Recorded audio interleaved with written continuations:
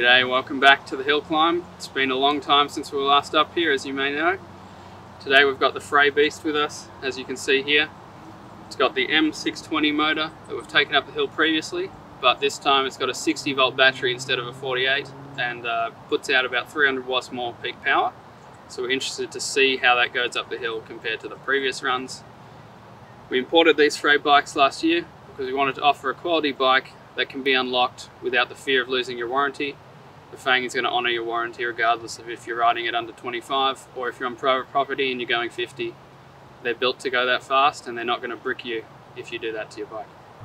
Unlike the previous bike we took up that only had a 600 watt hour battery, this has got a 1470 watt hour battery in it, giving you plenty of range and helping with the voltage sag so we don't lose any power going up the hill, which should also help contribute to our time it's a very capable bike with good quality components, so it should have nothing stopping it from getting a great time up the hill today. Alright, looking down the hill, we can see we're at the top. It's around 200 meters long. It's an average gradient of 17 degrees, uh, with 24 degrees roughly at the steepest point. It's a nice smooth track with no obstacles, and this is so that we can directly compare the performance of each bike rather than it be up to rider skill. Alright, enough about the bike and the track let's get started, do our runs. We're going to do three runs each up the hill to get an average time and a best time that we'll look at at the end. Three, two, one, go.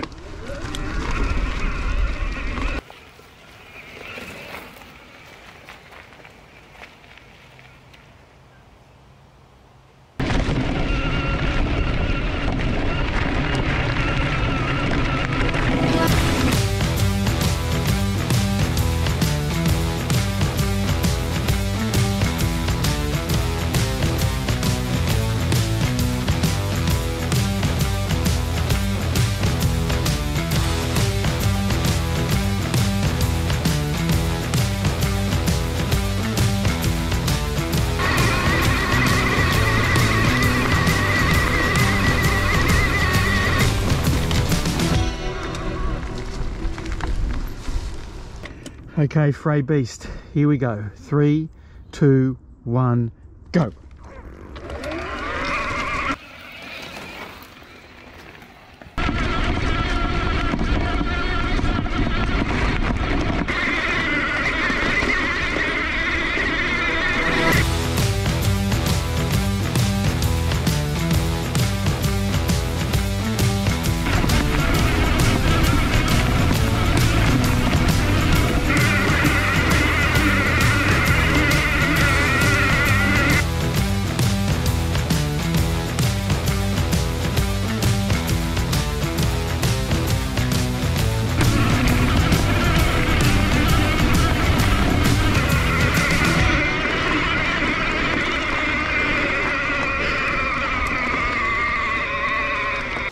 Alrighty, here we are at the top of the hill. We've done our runs.